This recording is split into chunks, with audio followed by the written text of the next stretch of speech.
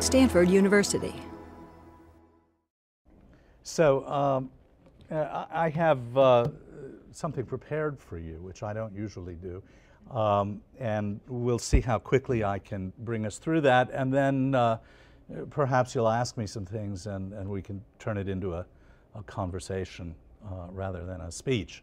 Um, Andrew, if you could uh, turn the lights off and we could turn the video light off.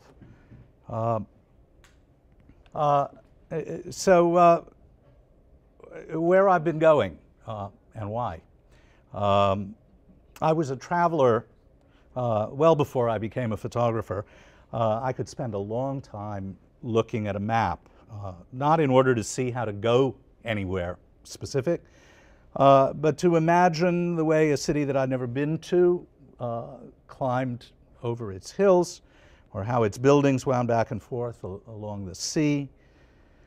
Uh, I loved stations and the names of railways and airlines, the livery of airplanes, and to explore the far corners of a hotel that I'd never been in, or to go prowling inside of a ship.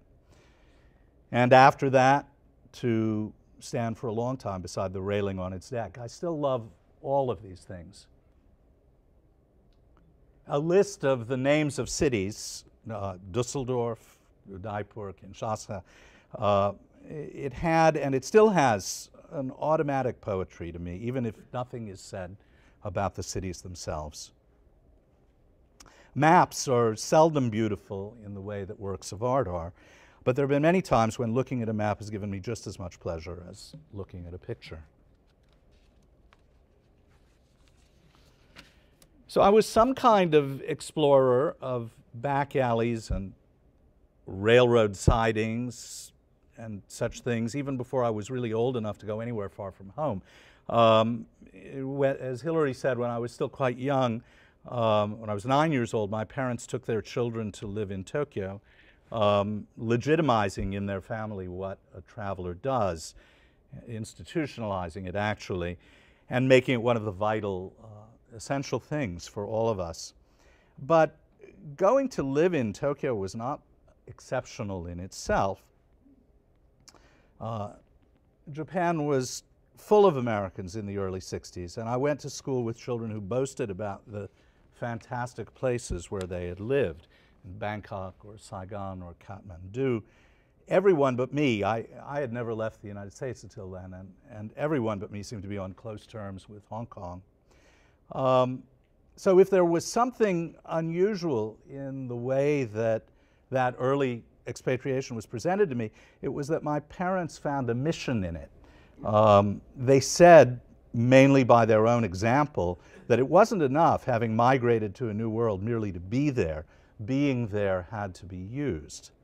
Uh, being there had to be used well. Um, it had to be made a means of knowing one's life and enlarging oneself with the knowledge and the feeling that one gained. And this was an absolute value, though I'm not sure that they ever explained why it was one.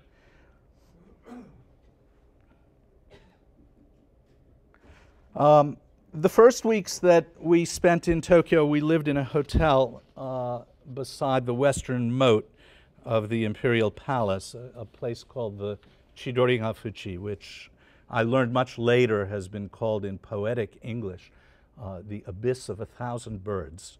Um, and uh, my parents immediately forbade me to walk more than a short way up the lane that looks onto the moat. Um, I was especially not to go out onto the big boulevard roaring with traffic at the end of the lane. Uh, but of course I went. Um, I didn't tell anyone, I just went. Um, there were marvelous, shuddering, almost antiquated trolleys running along that boulevard, and there was no chance that I'd resist them. Um, I went, I got onto one. I didn't know where it went, uh, except that it ran down the hill toward a shop full of plastic model ships that I'd seen a couple of days before. Um, but I didn't doubt that I'd know where to jump off. And I gave the conductor uh, one of the 100 yen notes that were everyone, everywhere in those days. Uh, they had a portrait on them of an exotic uh, double bearded 19th century nobleman. Um, that 100 yen note, the, the famous Count's bizarrely pointed beards, uh, were almost as good as the trolley itself. So I often feel um, that the journey that I've made in my adult life began right then, um, leading forward through an unending uh, series of boulevards, paths, and alleys, uh, random yet mysteriously logical too, um, and that I've never tired of investigating them. Um, I actually wanted to call this show, when we started working on it, uh, Boulevards and Alleys of the World City, but I was overruled. Uh, but, but it is what I had in mind. Um, now, there was a moment, of course, years later when I began to photograph, and at that point, photography and exploration began to wind together in my life, the way two vines wind together. Um, and so, if I've traveled a good deal in order to photograph, I've also photographed in order to have a reason to travel. Not just an excuse for it, but some way to structure and make useful each day of traveling uh, to make something more out of traveling than just wandering. So, explore, I said a moment ago. Um, but what was I exploring? You know, from my earliest days, I remember these sorts of things, okay? You know, the 100 yen notes with the count and his beards, uh, of course, and the greasy black wooden floor of the trolley, and the way the trolley groaned when the driver sped it up, and the petite leather bag and the hoary, long nailed hands of the conductor, and the way the glass rattled in the windows as the trolley banged over the street, and the liquid enamel surface of the steel sheet with the route number that slid into a holder beside the headlight. And I remember the way the glass rattled in the windows in the winter everywhere in Japan, and the cold and the smell of kerosene in the burner when you entered a tiny warm room. And later, dusty vacant spaces at the centers of mountain towns in the winter, and the fierce silver glare on the fronds at the tops of palm trees at noon in the tropics, and the sea in the sun, and the sea in fog, and the sea at night, and the awful millipedes that infested the rocks beside the sea. And why am I listing all this? I mean, all this was well before I thought of photographing. Uh, these are all memories from childhood, but not even memories, just isolated images from the past. But a direct line connects them and the work that I've done as an adult. Um, what was I exploring? Nothing important. And it seems to me that that itself is an important thing. You know, always the physical, always the trivial, the stuff in a shop window, something extremely elusive and barely describable in the face of someone I would never speak to, uh, much less know. Uh, to uh, to speak of being an explorer makes it sound glamorous in a way that it certainly was not in my case. I've never been to war. I've traveled very little to places that will put your life or your health at risk. Uh, one year in Vietnam, I was told that if you went a mile up a certain path, you would come to a spectacular view of mountains and rivers, but that there were still some old landmines buried along the way, and occasionally one of them went off, and uh, you know, the risk was very small, but I said no thanks because I was never that kind of adventurer. Um, and I've seen, uh, I've seen very little of um, famous people, and where I have, they've rarely seemed larger to me than many people I knew who weren't famous. Um, I've seen few great events. I was present, as Hillary said, especially uh, for the destruction of the World Trade Center in 2001, but I had no desire to photograph anything uh, that day. Um, and later, when I did bring a book out of what had happened, uh, I gave much thought to how I might approach the subject of September 11th as obliquely as I could. Um, but there's nothing in any of the photographs in the book, Wounded Cities, to identify it. Um, I went to Cape Town at a moment soon after the collapse of the apartheid government there. And it was one of those times when a particular place seems to really stand on a, a crux of modern history the way New York would three years later when it was attacked. Um, and there was much to learn and to conjecture about what was happening in South Africa. Uh, you could talk late into the night with your friends about where the world was going. But the best photograph that I brought back from that trip was this one uh, of a boy at a ramshackle fruit stand where the subject uh, seems to have little to do with the epic violence of Africa or South Africa's remarkable escape from, escape from catastrophe just a, a couple of years before. The photograph, to me, seems much more concerned with ugliness and beauty and how the things here, the oranges, the stand, the light, the boy, can be beautiful and ugly at the same time. Uh, and really how the beauty and the ugliness are, uh, are one, uh, how they're the same thing as each other. Um, the chaos, the order uh, that you find in these places, how they're intertwined with each other, how out of their intertwining certain very powerful feelings will mysteriously arise uh, longing, regret, exhilaration, revulsion. So it's been very common for me to go to a place uh, for the sake of its well known beauties.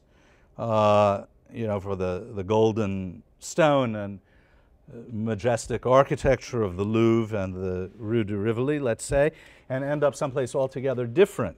Um, you know, on the north side of Paris, beside the, the périphérique, the, the highway there, on the way to the airport, among, you know, Soviet gray apartment blocks uh, at dusk and with these huge illuminated signs of great international companies.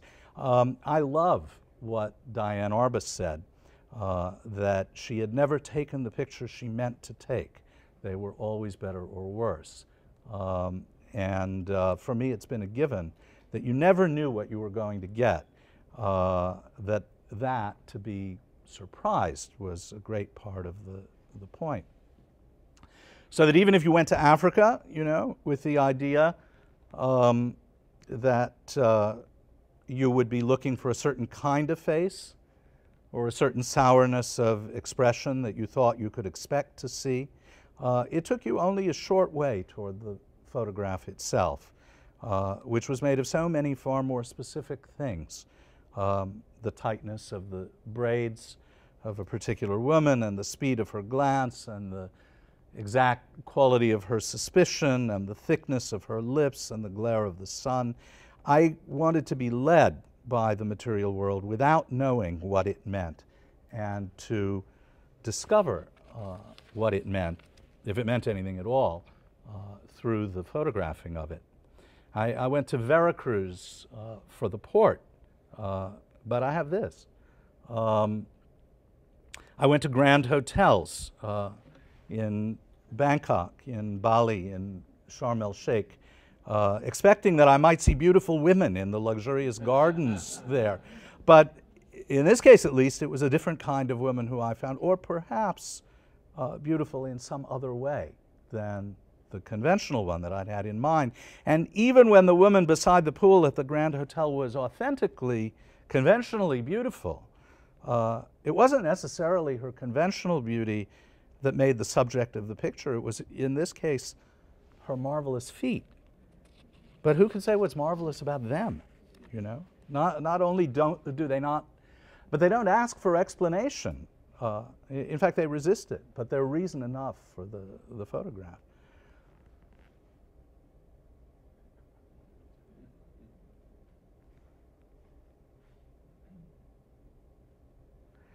Um, so I've been an investigator of extremely trivial things that would come to have uh, meanings of unexpected kinds and to be beautiful in unexpected ways. Uh, my mother, who was a traveler herself and a, a, historian and a moralist, and who believed in the moral importance of reading history into everything that uh, she saw, had no use for this.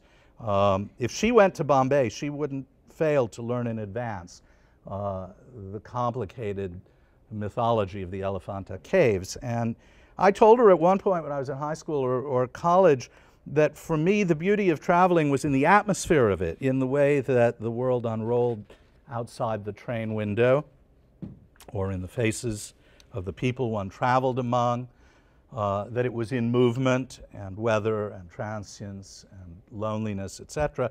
But to her, this was Philistinism, you know? Uh, and I must have sounded foolish, in fact, or at least dreamy in a very adolescent kind of way, because history does exist, however poorly understood it is, before someone makes a, a narrative out of it. Poetry doesn't exist at all until there's a poem.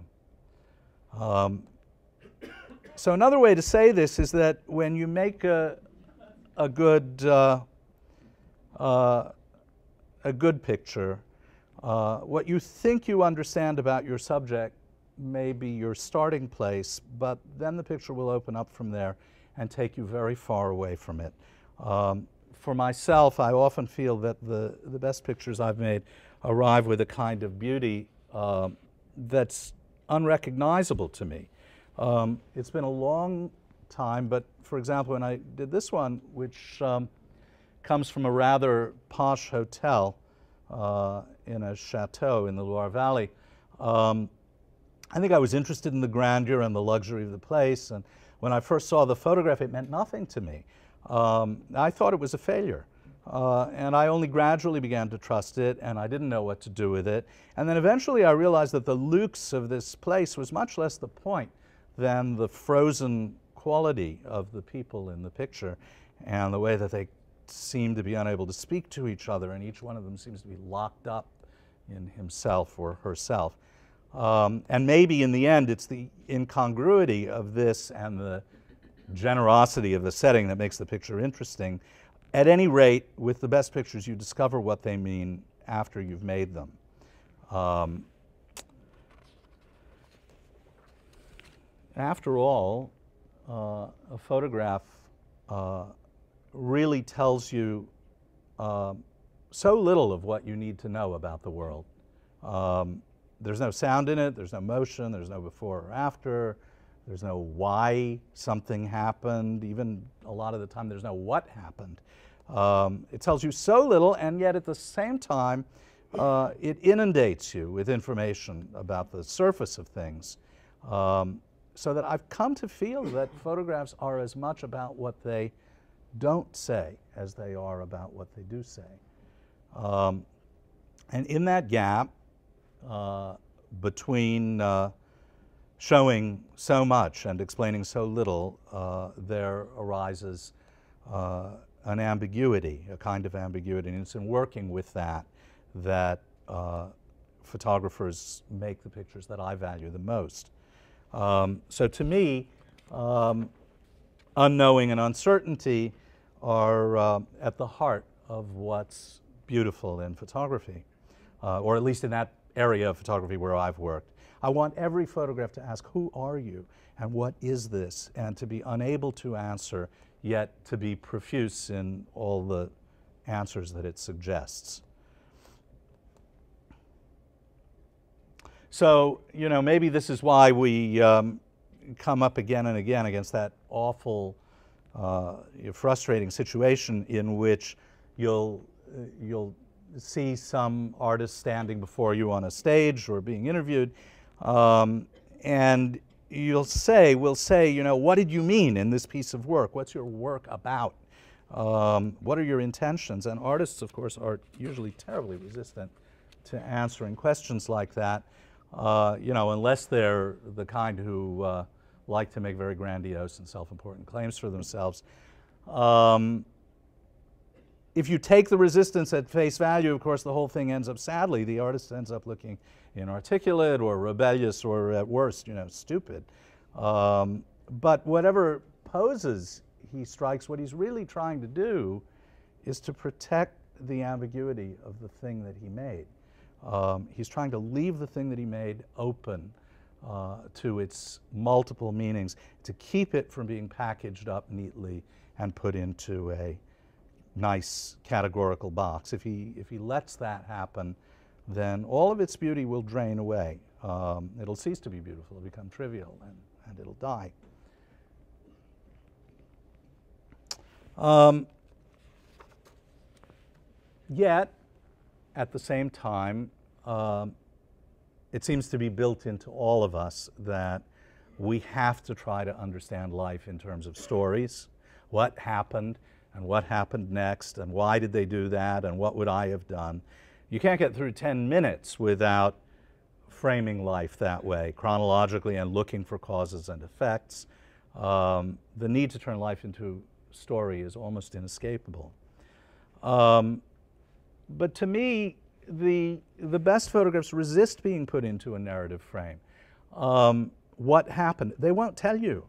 Uh, even when you have a very fine photographer who's willing to attach a well-known story to his work. Okay, I, am thinking right now of a, a man called Jim Goldberg, um, who will tell you that his recent work is about the migration of Africans and Eastern Europeans and Bengali workers uh, to Europe, into Europe. And even though those are the people in his pictures, though, uh, that story is not what his pictures are about. Uh, the story's there, but the photographs are about 10,000 obscure connections that you see in them between a glance and the way that the light shines through the trees and a scribble of handwriting. And somewhere uh, in all of that, somewhere in all of that, the nominal story too. Uh, you know, perhaps it's not about about, uh, as they say. Um, if you're very deeply involved in the art of photography, you probably still can't help trying to understand the world in terms of, of stories as much as anyone else. Um, yet you can't really tolerate it either. And so perhaps um, when we're uh, faced with a good photograph, a kind of shuttling is set up in which you try to fit the world to what you understand and then you try in reverse uh, to fit what you understand to the world. And that's what I appreciate when I look at a good photograph. Um, that, to me, is the starting point of, of what affects me. Um, so, you know, it's probably even necessary if you do a show like the one that's, that's here at Stanford, you know, to say uh, that your show is about some well-known subject, that this show is about globalization, for example, whatever that is. Uh, but this can only be to, uh, to oversimplify. Um,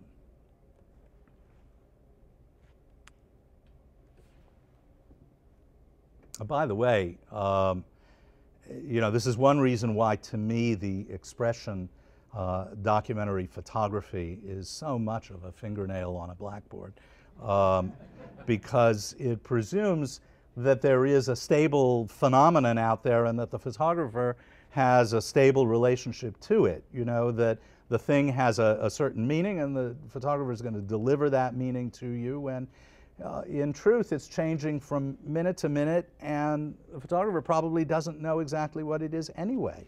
And if he did, and if that's what he showed you, uh, he wouldn't be a discoverer anymore at all. He'd, he'd have become an illustrator. Um, So sometimes I'm asked, why did you begin to photograph? And here too, I have the most uncomfortable feeling about answering the question um, because it asks for a logic that isn't really there. Uh, you know, I'll answer faithfully and with good intentions, and I'll say, for example, that uh, you know, when I was nine years old and my parents moved their children to Tokyo, um, and I was suddenly placed in an unfamiliar world, where being unable at first to speak the language, everything stood out vividly and mysteriously, and I had to live on seeing alone. And that going on that way in a sort of condition of arrested development, uh, I became a photographer who lives on seeing alone, et cetera, et cetera. But this, of course, is, uh, is far too simple. Uh, it's not false. Um, but it's only part of the truth. I don't live on seeing alone, for one thing. Nobody does. But I was still drawn to this medium um, in which, the way I've come to love it, it's full of uncertainty and unknowing, and it chases forever after uh, very unstable meanings, and appears to pin the world down when in fact it hates to pin anything down. Plenty of the people I went to grade school and to high school with had a, a similar experience to mine as expatriates um, of being moved into a strange, barely comprehensible world. But they went on to do kinds of work in which one works to achieve ever more precise definition. They became lawyers, they became journalists, or they became doctors. Why did I come to work in this medium which takes pleasure and pride in the indefinite and the mysterious? And I really can't tell you. Um, the reason can only have to do with something very obscure and elemental in, uh, in me. Um, it really is a, a, a, matter of, of gravity in some way. Um, so when I am photographing, um, I'm not thinking all that much uh, about the meanings of subjects. I'm thinking about where to stand and when to make the exposure and about what the light expresses and about how much chaos there is and how much order and how much intimacy and how much distance and how much that's grand and how much that's trivial and how much beauty there is and how much ugliness and how much is shapeless and how much is shaped. Um, and later, when I'm studying the pictures, I'll think about their meanings and I'll slowly come to understand what they might be. Um, and if the picture, as a matter of fact, isn't some kind of a discovery for me, um, it won't bring anything new to anyone else.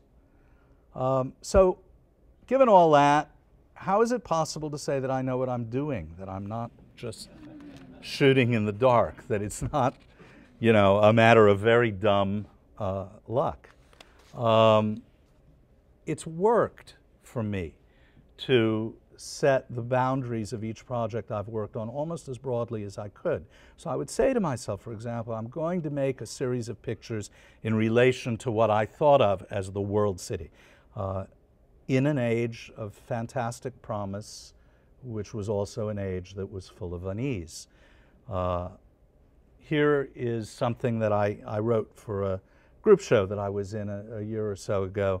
Um, I wrote, uh, it, it, often seemed to me as if I lived in a worldwide city, a vast lattice in which the cities of many countries were nodes, tied to each other with invisible threads, air routes, satellite links, undersea cables, shareholdings, mechanisms of credit, supply chains, crazes, all the obscure, innumerable bonds between individual people. Within that aggregation, it wasn't much harder to cross the world than to go from one side to another of any great metropolis. The world city is the place where you are when you cannot tell exactly where you are. It's the place where Buenos Aires and Dusseldorf and Hong Kong look more like each other than different. It's the place where Asia, Europe, Africa, and America continually reshape each other, each in its own image and where people often tell me that they feel the freedom and exhilaration that they don't feel in the parochial backwater towns of their native countries. And because it's full of their aspirations and their longings, it's also a place where beauty and anxiety and sometimes even fear are all mixed up together. So I might go to Berlin then, as I did in 1995, uh, knowing that the sense of the world city was what I was after, and knowing that it was important that it was winter. And I might have had some attraction too at that time to the color gold. Uh, and I could have had no idea that I would find my way to a particular shop window at a certain hour of one day. And that's all there is here, a shop window uh, laid on an icy day. Nor could I have had any idea that this picture would be any good. Yet I would have been powerfully aware of the large idea, the idea of the world city, and the brilliance and the exaltation and freedom and risk and longing that seemed to me to characterize life in the world city as I'd known it. And I would have been confident that once all of the photographs I was making were strung together like a necklace of stones that you make, that you picked up on the beach, um, or the scraps in, that made up Helen Levitt's film in the next room, um, that they would collectively become an utterance of the time in which I'd lived. Uh, and they would breathe in and out what seemed sharpest to me about living in it. And later, back in New York, I would discover that whatever I thought the window was when I was there, all of that radiance and all of that evanescence was the point. Um, and maybe even that they were what I perceived when I was standing there in the street, though I didn't know it. Um, the picture in the end was much more than the thing in the picture. Uh, and yet I could never have anticipated that it would be so. And yet I can't help believing that I went to Berlin in order to get this picture, uh, or one very much like it, and that what I wanted was exactly what I got. So I'll stop there, and uh, Andrew, we can turn on the light, and. Um,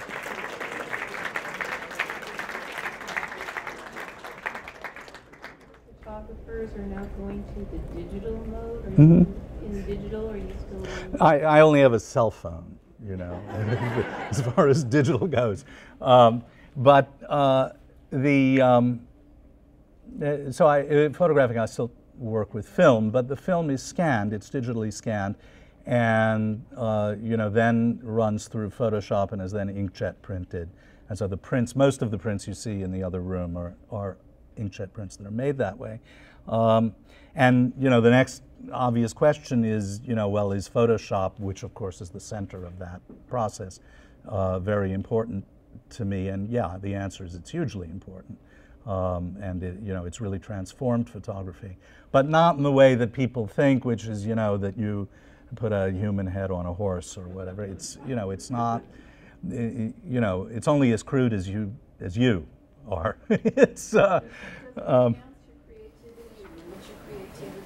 some of the um, magic that is lost now because in the old days when you developed film? No, I don't think I don't think anything's lost. I, I think Photoshop's fantastic, uh, and what it allows you to do is it allows you a, a degree of, of control over what you uh, over the emphasis of every small thing in your pictures that you know that allows you to literally change their meanings, right? So, you know, for example, um, you know, have you been a, you've worked in a darkroom before, right? So you know what dodging and burning are. I hope most of you know that. It's essentially, you know, if you're you're projecting light in conventional process from an enlarger through a transparency onto a sheet of paper, you put your hand in between to you know cover up parts of it to interrupt the light and make them lighter or darker. But it's very crude because your hand is big, you know. And even if you're uh, uh, you know, if you're very fancy and you cut out little pieces of paper and put them on the end of a wire and wiggle them around in there, it's still extremely crude. You know, Photoshop allows you to do this with extraordinary precision. So it means that you're looking at the face of somebody, right? And all of a sudden you realize that what's really important about that person is, you know, the way the light is, you know, reflecting on the surface of the left eye rather than on the right eye. And now you can speak about that thanks to Photoshop, which you could never do before. Um, so it, it, gives you a, a, tremendous degree of control uh, that you never had, of real expressive control that you never had before. And it makes you a much more, you know, what, you know, sophisticated potentially uh, interpreter of the thing you're looking at. Two quick questions of curiosity. Yeah. When you go to one of these cities, yeah. do you have a set amount of time that you're going to designate, or you go in there because you're looking for that one particular shot and then you're gone? And then the second question is, when you're dealing with groups of people, are they posed and they, do they know they're being photographed? Um, you're looking for a purely natural shot? Right. So question one, um, usually I go for a fixed amount of time just for practical reasons, you know, so I'll, you know, I'm going to be, I'm going to spend this week in Dakar and then I'm going to leave Dakar and go home or go somewhere else or, or whatever. I, I very often go to the same places over and over again. So although you go through a set of pictures like this and you'll think, oh my God, this guy, you know, the guy the guy was in one, one city for every picture, you know, or took one picture out of every city. No, you know, I mean, I've photographed in you know, London 25 times and I'll do it 45 times more before I'm, I'm done. And, you know, the same with almost any of the places that, that are really interesting. I'll go and go and go again, and very often I'll go to the same places in those cities. And, you know, I mean, with total perversity, you know. Um, the, the second question, um, you know, do you, do you pose people?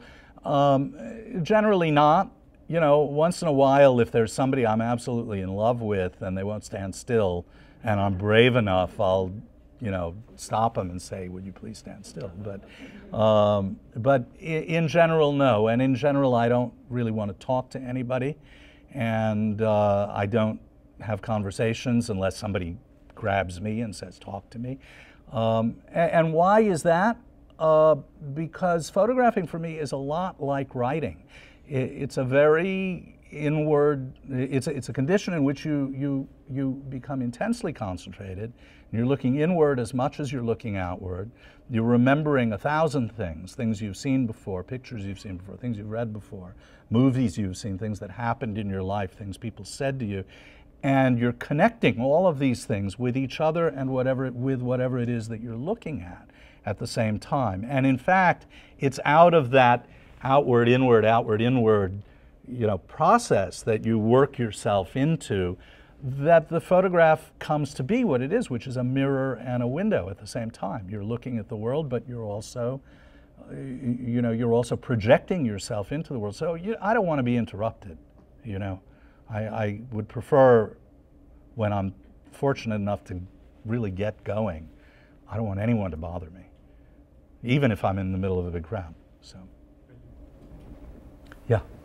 You, in your discussion, you uh, talked about uh, about the content of the image, both in terms of what it communicates and what it maybe fails to communicate, mm -hmm. what you know about it, what you mm -hmm. don't know about it. So it's all it all seems to be communication and content based. I'm wondering to what to what extent does the the conventional concepts of aesthetics, uh, aesthetics and composition what, what role do they play in, in uh, kinds of pictures that you know, I, am not sure what you mean by conventional because, um, you know, I, I, mean, I know. I mean, simple things like, like you know, two thirds. Yeah, you know, like the Vitruvian man and so on. But, you know. horizon line is. is, is I, yeah, you know, I'm, I'm much more, um, what would you call it, utilitarian than that. Um, whatever seems to me like it's going to most effectively, powerfully speak for the thing that's in front of me is what I'll do. And, eh, you know, inevitably that means that most of the time it's not going to work. But that's okay too. Um, use the word beautiful. Hmm? I'm trying to understand. When you said beautiful, what do you mean by it? I mean something that makes you, I, I, I, I know, I use it in a very slippery way, okay? So there's conventionally beautiful, right? You know, the land, oh, look what a beautiful landscape, look what a beautiful woman, look what beautiful light, blah, blah, blah, blah, blah. And I'll use it that way. I, I admit I used it that way, speaking here. Uh, but what do I also mean? I mean, what do I mean profoundly? Something that helps you live through another day, you know? Um, seriously because I think that you know truly uh, you know good art, real art, uh, which has nothing to do with the art world, or has something to do with the art world, but a limited amount to do with the art world, has a very practical function um, in the life, the lives of people who make it, and the lives of people who live very close to it and use it and consume it in great doses the way I do, uh, which is that it makes life, which would otherwise, on some level, you know, seem intolerably tawdry or intolerably boring or intolerably something, uh, makes it not that way. I mean, it, it, it's redeeming, genuinely. And the redemption, if you're any kind of an artist, the redemption is what people buy the ticket for. They don't buy it for anything else. You're not telling them about the world, telling them anything they don't know about the world already or that they can't read in a thousand books. There's a whole library of books on globalization. I can't contribute one useful thing to that. All I can do is read those books along with everyone else. But I can make you, maybe, if I do a good picture, feel a certain way about all of that, which you wouldn't have felt before. And that's what the picture's for. I, I don't know if that answers your question, but or answers 10 other questions instead. Yeah. Is it typical for you to frame in the camera pretty much exactly the scene that you want? As closely as I can. As closely as I can. But I'm a great believer in something that uh, there, there's a, a, very wonderful uh, Japanese photographer called Shomei Tomatsu. And uh, he used to speak of something that he called camera fate, uh, as one word, right? And I, am a real believer in that, eh, by which I mean that a camera sees much more than you can see, right?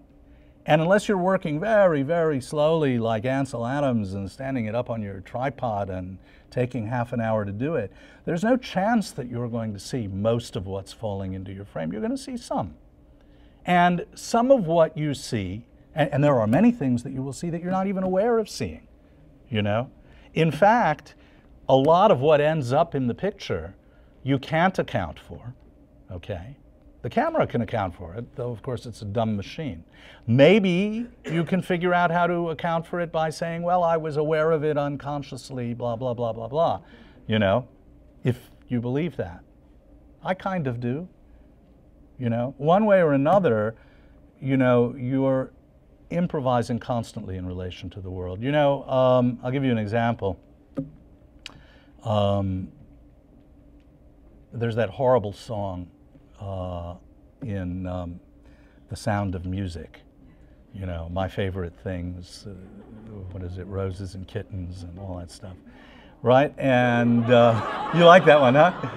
And, and then there's the, uh, and the song, you know, is, can be written out in musical notes on a sheet of paper, right? And then there is a version of that song that was played by the saxophonist uh, John Coltrane. And he did a very interesting and maybe beautiful version of that song. Um, and two thirds of what you hear in his version of it cannot be written down on a page of notes because it's all squeaks and burps and accidental sounds and buzzes and noises that come out of the, the saxophone and that he didn't know would be there until he made them. But they're exactly the expressive material of his version of, of the song. And photography is a lot like that. A good photography is a lot like that. A lot of the worst photography arises from people attempting to over control. And the worst of the worst arises out of over controlling in order to be an artist with a capital A or to be perceived as such. Yeah. Leo, thanks so much. It was really a pleasure to speak alongside the photographs. I, I think I have a question that's more about traveling than it is sure. Where should I stay in Vladivostok? Uh, yeah. More, uh, I don't know, vague than that. Yeah. Uh, uh, there's a French proverb that really resonates with me that says something like, the importance of traveling is not having seen other lands or landscapes or places. It's having seen through other eyes. And so when you're talking about the world city, and um, I see I see a lot of similarities of, of faces uh, or expressions on different faces. So I, I just wanted to invite you to maybe make a comparison as to how that, that idea of traveling and seeing through other eyes compares to life in a world city with regards to your reference to globalization. Yeah, I'm not, I'm not sure I completely understand your, your question, to tell you the truth. Um, but uh,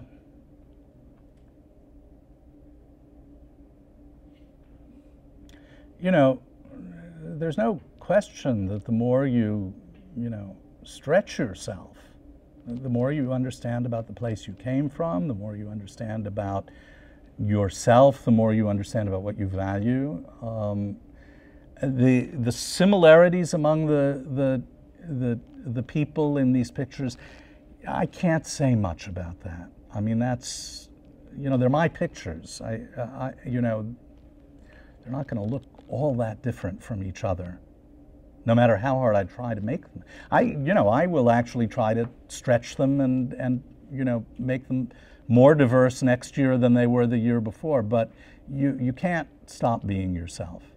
You can stretch. I, I'm not answering your question well, but I, I'm not sure I understand the question. yeah. Um, thank you so much for speaking. I think when you speak enormously poetically about traveling through this, what you call the global city, um, and capturing, as you say, sort of snapshots of this global city, as it were. Um, I just want to push you a little bit on that term global city, and in fact, what I, I certainly think your photographs seem to document, which is the inherent une uh, unevenness of the global city. Um, there is certainly uh, a recurrence of images that um, seem to address the unevenness of what we would say sustains the global city, which is the global economy, be that a kind of informal market stall in South Africa or the arrival of global brands in the former Soviet Union. Um, and it interests me even more when you say that you, didn't feel um, a great need to desire in any way to photograph the events of 9-11, which certainly were uh, perhaps an attack on the United States, but were also attack, an attack at the heart of what we understand as the Mm-hmm. global city, fueled by an uneven global Mhm. economy. So I know that you don't want to talk about maybe meaning or, or for me to suggest that you are, uh, there's any sort of political activism or anything about your work, but I just wondered if you could comment about this maybe even accidental documenting of unevenness within the global city. Yeah, well, yeah, I'll try. I'll try to come to the unevenness part last, um, but don't let me forget to say something about it. Um, you know, uh, the all I should say for those of you who, who haven't looked closely at the show in there, uh, this show um, is the first time that I, I I'm a very slow worker. I, I take forever to finish anything, and. Um, you know, really my whole life as a photographer is, has pretty much boiled down to four large projects, each of which has taken many years. Um, of those, the largest and most ambitious, and God knows the, the one that's taken the longest, is this project called In the World City, which is one of the four that's in there. Um, everything I showed you just now is from that project. I, I didn't cover the other projects just now, only that one. Now, I began working on that project in, I began working on it, you know, with awareness of it in the 1990s. And it happened as a, a you know, dumb accident that I bought an apartment about two and a half blocks away from the World Trade Center and moved into it one week before the World Trade Center was destroyed. Um, and so I was caught up in the middle of the events of that day. And one thing that I remember very clearly, uh, feeling even as I was standing there on my apartment roof, um, watching the, the towers burning, and, and, you know, feeling devastated by what had happened. I mean, it was a horrible, utterly traumatic event. But even in the middle of that, I was very selfishly regretting the fact that I thought all this work I had done on this project, World City, would need to be abandoned. And why would it, and you know, here I'd spent all these years on it, I was gonna have to throw it away and do nothing with it. Why? Because it seemed to me, you know, in the face of this event of September 11th, it seemed pathetically innocent, ignorant, you know, willfully ignorant. I mean, worse. Uh, it seemed like I had no idea what this transnational space or whatever it was that interested me was really about. Um, because I had been all the way through the 90s a, a kind of a, you know, Clintonian optimist, and I believed that the more connection there was in the world, the better it would be for everybody, and, you know, wasn't life wonderful and so forth. And uh, all of a sudden that was shattered, you know, instantly shattered. So even in that first 45 minutes before the towers fell, I was not only mourning everything that was in front of me, I was mourning my own lost project, you know. Um, I went on to do the book, Wounded Cities, and through that came the long way back around to where I thought I could actually complete the World City book, which I've now picked back up, resumed, and which is now the main project in my life. Um, I would disagree with you that unevenness is uh, the direct cause of what we experienced on September 11th. I think that the causes are far more complicated than that. And I try to talk about that some in the text for Wounded Cities. It's a book that has a big text as well as uh, the pictures. Um, but I would say that my own view of the so called world city became much darker as a result of that experience and as a result of learning everything I learned in the years of doing Wounded Cities. And I've tried to bring that into the pictures latterly. And I, I hope to bring it in even more until there's a lot of darkness in there. Um,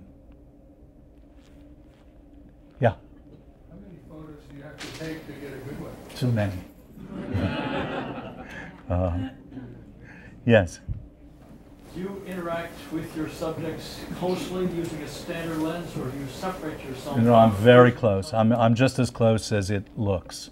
Um, you know, it's I'm I'm about this far away, uh, as far as I am from uh, Sandy, the lady in the red coat here right now. So it's not far. It's very close.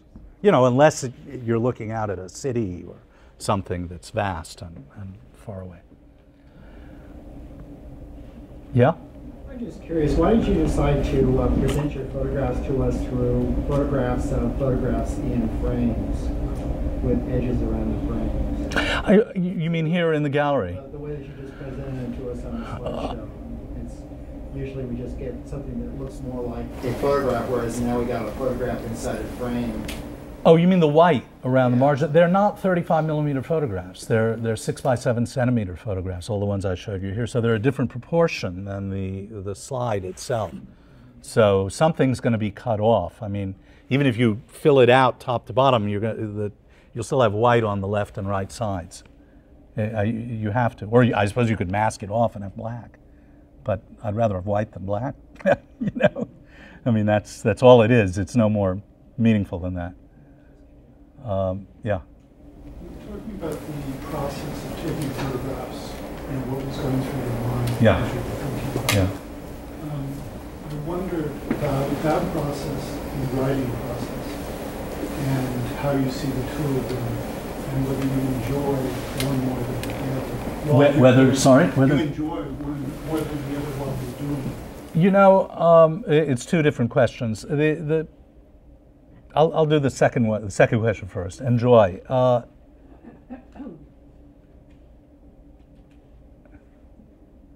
you know, there are people. I, I, I have some good friends who are photographers, who say, "I love to photograph. I never feel any better in my life than when I'm out there with a camera, you know, photographing." It's never been that easy for me. Uh, and neither has writing. It's hard. Uh, it's hard. I mean, you're demanding immense concentration of yourself. You're demanding, you know, a real kind of emotional responsiveness of yourself over a, a long period of time. You know, it, it's not easy to do. There are moments when, um, there are moments when you forget yourself and you get carried away, you know, and you really do kind of fly away in the writing or in the photographing. And that's very thrilling. It's, a, it's an exciting feeling. It's a great feeling. Um, but it doesn't necessarily mean that you get a good picture out of it. You know, you could feel that way all day and get nothing but bad pictures, you know. And you could feel absolutely terrible and get the best picture of the month, you know, and, and be sure that you were failing and get the best picture of the, the month. So I don't think it's so simple as enjoying yourself. Um, there are people who will say, uh, you know, I just had this discussion in New York last week uh, with a, an eminent commercial photographer uh, called Jay Maisel. And we were talking about a very eminent and celebrated photographer called Gary Winogrand. And Jay said to me, Why do you photograph? You know? Uh, and I said, To get a good picture, you know? And he said, Well, you're wrong. That's the wrong reason to photograph. And I said, Really? And he said, Gary wasn't like that. Winogrand wasn't like that. Winogrand photographed because he loved shooting. That was it. Shooting was enough for him. Now, you know, number one, I don't know if I believe him, right? Number two, whether I believe him or not, he certainly made me feel lousy. uh, and number three, I don't believe him. Because if it's only the shooting, why put film in the camera? You know, for God's sake, you are doing it to get a picture, you know. I enjoy having a good picture very much. And so I do it to get another, you know. I mean, that's the answer. Um, what was the other piece of the question you asked? Oh, writing and photographing. You know, they, um, they're two completely different media. Uh, photographs can describe certain things that writing cannot describe. And writing can describe many, many, many things that photographs cannot describe. Why do both? Because I can. Um, most photographers can't, but some can, and there actually is a little, you know, tiny tradition within photography of, of photographers who write, and there have been some very beautiful writers among photographers. Um, why not simply say, okay, the pictures are enough for me. Um, I won't write because I'm greedy. I mean, really, you know, because I want both. Um, but there's never a moment when I don't feel that by doing one, I'm cheating the other, you know. it's Sort of like having two girlfriends. It's, you, you can't feel, um, you can't feel that you're serving either one well enough uh, as long as you're doing the other. So the result is I run twice as fast and, and desperately, you know, try to get enough done. Um, yeah. Your pictures make it appear that most of your subjects are not affected while you're taking the picture. And yet you said you're four or five feet away. How do you bring that off without, you know, causing people to to react in some way. I, I think many of them do, actually. I think if you go back, if you went back through this, you would see that lots of them are looking at the camera. And in the, the Wounded Cities book, many, many are looking at the camera. So no, I, I don't think it's true that, I, I think some are not looking and some are looking. Um, yeah. Just follow on that question. Do you end up interacting with your subject? As little as possible, as I was saying before. I, I really, I'd prefer not to, but I'm not rude to people. I mean, if somebody, you know, wants to have a conversation, I'll have it and I'll try to make it as brief as I can, but I'll have it. Mm-hmm. You seem to know a lot about Photoshop. How much you take advantage of it, like change perspective, merging pictures? Uh, none, none, none. Uh, maybe a, a, tiny amount of perspective change. There's a function called transform skew, and I'll use that a very little bit, but uh, merging things never. I, have never done that. I, I don't really know how to do that, actually when you went on, one question, would you ever think of doing text for somebody else's photos or doing photos for somebody else's text? Or do you have to be self-contained to really visualize the picture? Well, you know, there, there are different kinds of books, okay, that are done. Um, and one thing that I do very occasionally as sort of, you know, 50% day job, 50% labor of love, is I will do a, a curatorial project. And when I do that, obviously I'm writing about somebody else's work.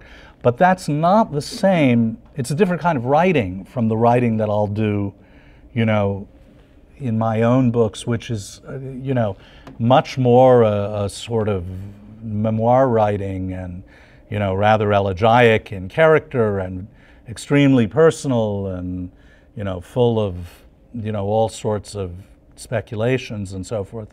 You know, I'm, I, I, I, behave when I'm writing about somebody else.